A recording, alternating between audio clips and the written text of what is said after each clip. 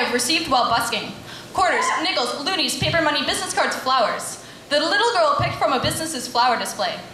We played a song together. I formed the chords and she strummed singing Taylor Swift as loud as those tiny lungs could handle. Cigarettes, candy, healing crystals, one for romance and one for stage presence. A portrait done with a Sharpie, smiles.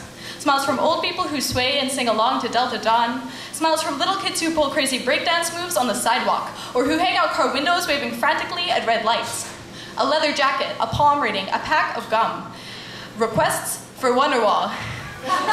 so many requests from one, for Wonderwall. The other night I was busking and this guy came up and asked for Wonderwall, so I started playing and he started singing and all of these people started coming in from the street until I had an entire drunken choir of guys swaying and singing Wonderwall and then they galloped off down Granville Street and I just don't be that guy. Directions to a Sikh temple. When I told a coworker I was moving here, she said, well, how are you gonna support yourself? I said, well, I'll get a part-time job and I'll busk for grocery money. And she said, busking, isn't that, isn't that basically the same thing as prostitution? I mean, you're standing on the corner working for tips. First of all, you, you say that like sex work is always a bad thing.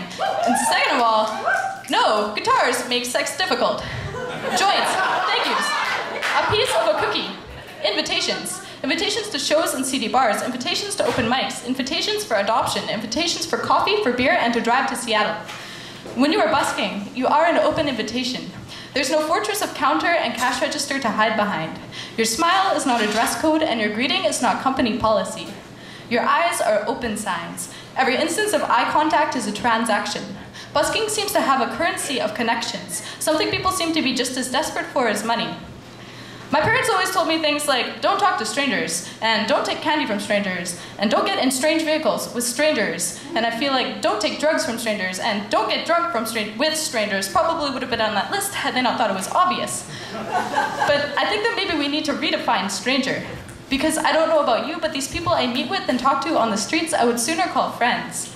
And the strangers, those are the coworkers who can't remember your name or the teachers who didn't care. Strangers are the people who cut you off at intersections or who hit on you at bus stops without bothering to get to know you. Strangers are the people who don't bother to get to know you. So next time you're walking down the street and come across a busker, try to pause. I think connection has a vulnerability that's just as hard to receive as it is to give.